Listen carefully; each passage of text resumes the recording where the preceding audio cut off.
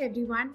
I'm Vaishali Gupta, author of OUP's flagship course called New Science in Everyday Life.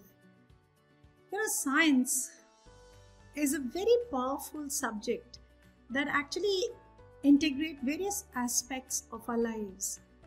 And when the NEP came out in 2020, it laid a lot of emphasis on scientific temper. And when we talk of scientific temper, then there are lots of skills, especially the process skills that come into play. So, science as a subject has the power to actually help children learn those process skills and build critical thinking at various levels. So, when I was writing this uh, edition of Science in Everyday Life, care was taken that all the elements of the NEP were actually incorporated and children were actually taking charge of their own learning, making their learning real and authentic.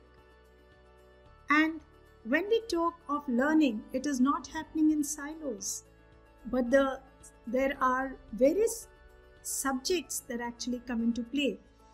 When we live an integrated life, why should learning be in silos? And that is what the book does. It breaks boundaries between subjects.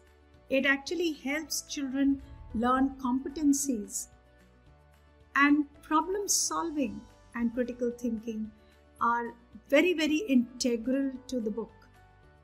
And when I say problem solving, the kind of projects that one needs to build need to have elements of design thinking embedded in them.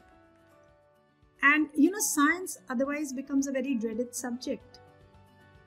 But if the, the pedagogy used is child centric, is making use of uh, the child's immediate environment, then it becomes a very fun subject. So, a lot of opportunity has been given to children through activities, through projects, through examples where concept building is happening through application in the real world. And therefore, children start building connections between what they are studying and what is happening around them. And that makes science a very meaningful subject and a joyous one as well. You know, another very interesting element that uh, is in is being talked about in today's time is the integration of STEAM as a methodology. You know, uh, for any textbook, it is the pedagogy that is used to transact curriculum that is the most important thing. And teachers need to use the textbook as a, as a tool that helps them transact curriculum and also build multiple skills in their uh, students. So, therefore, textbook needs to be an active one. It needs to have the pedagogy which is engaging, which is enriching, which is making use of uh, child centric uh, projects, which is making use of um, uh, you know activities which are automatically helping uh, helping children build competencies of collaboration, critical thinking, creative thinking, and even allow them opportunities to communicate.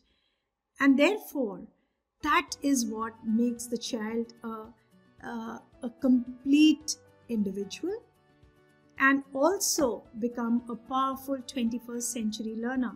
And when the child finds science so interesting and so meaningful, he becomes a student for life.